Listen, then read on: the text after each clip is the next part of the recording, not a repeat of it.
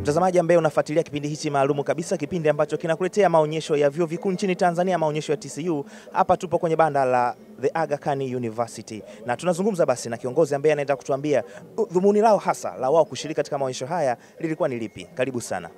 Asante. Um, sisi chuo kikuu cha Aga Khan uh, Tanzania tunashiriki maonyesho ya TCU ya mwaka 2020 uh, na hii si mara yetu ya kwanza kushiriki. Um, kila mwaka tunashiriki na um, kama ambavyo ni wajibu wetu kama sehemu ya wadau wa TCU ni kwamba kila mwaka ni lazima tuje hapa kushiriki, kwanza kama sehemu ya TCU uh, ama sehemu ya vyuo vikuu Tanzania vinavyotoa elimu ya juu, lakini pia ndio sehemu ambayo inaturuhusu sisi kufahamisha umma uh, kozi na programu ambazo tunaziendesha kwa hapa, kwa maana ya kwamba tunapotoka tukaja hapa tukakutana na wadau mbalimbali, ndio wanaweza wanapata nafasi ya kutujua na kufahamu yale ambayo tunayafanya, na hivyo sasa kupata wadau wetu.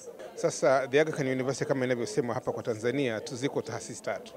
Ya kwanza ipo taasisi ya elimu na maende, eh, taasisi ya maendeleo ya elimu uh, ambayo yenyewe inaitwa taasisi ya maendeleo ya elimu Afrika Mashariki, lakini pia ipo shule ya uuguzi ama School of Nursing na ipo shule ya udaktari ama medical college.